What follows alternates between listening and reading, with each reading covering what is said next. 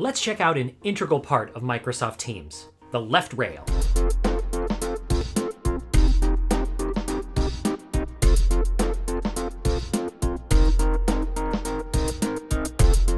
Hey everybody, my name's Kyle, and today in this short video we'll be introducing a very important part of Microsoft Teams that allows you to get quick access to all of your work. Let's check out the left rail.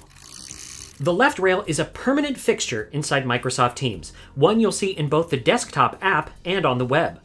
By default, the left rail will contain shortcuts to the following areas Activity, Chat, Teams, Calendar, Calls, and Files. You'll also see ellipses to more apps and locations below files, and two more shortcuts for apps and help.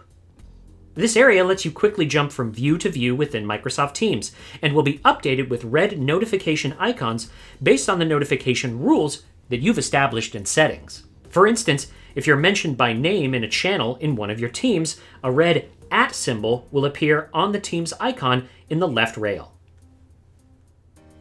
What if, for instance, your organization is not using Microsoft Teams for calling? Well, the rail is customizable. Drag and reorganize the icons based on your needs. Add apps into the rail and unpin the ones you don't use. For example, if you take copious notes both for your individual use and inside of different teams and channels, consider pinning OneNote to your rail. You can also click and drag these pinned shortcut icons to reorganize them.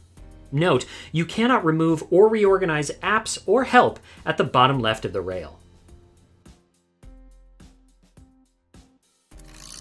The left rail is there to help you quickly navigate through Microsoft Teams, but what is happening in all of those different areas? Be sure to check out the entire catalog of Teams tutorial videos to find out. We'll talk to you next time. Looking for more info to help you sell even better? head on over to ExpertZone, Microsoft's online learning platform for courses and classes on all things Microsoft.